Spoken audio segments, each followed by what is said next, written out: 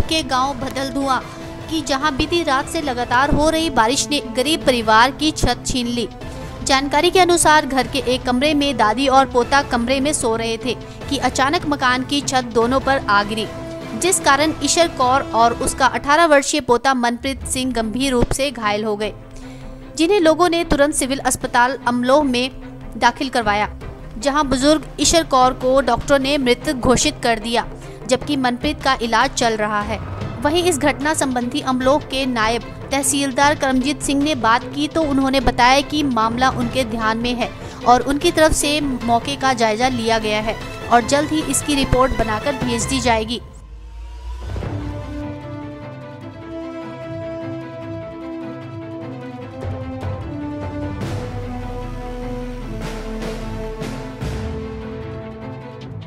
जय ਮੈਂ ਬਰਾਂਡੇ ਦੇ ਵਿੱਚ ਪਿਆ ਸੀ ਜੀ। ਉਧਰੋਂ ਬਿਜਲੀ ਦਾ ਧਮਾਕਾ ਪਿਆ, ਲਾਈਟ ਵੀ ਭੱਜ ਗਈ।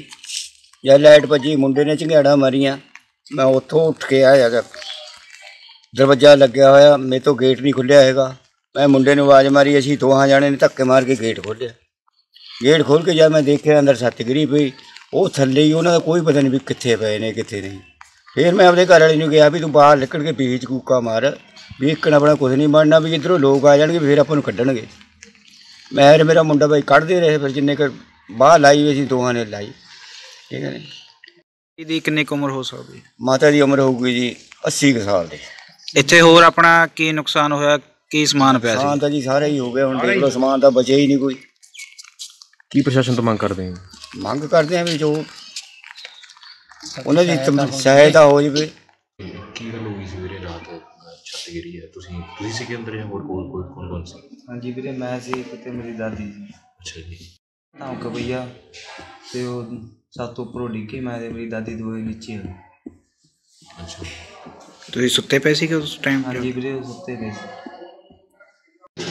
ਉੱਥੇ ਮੁਤਲਕ ਮੈਂ ਅੱਜ ਸਵੇਰੇ ਗਿਆ ਸੀਗਾ ਉੱਥੇ ਮੌਕਾ ਦੇਖਣ।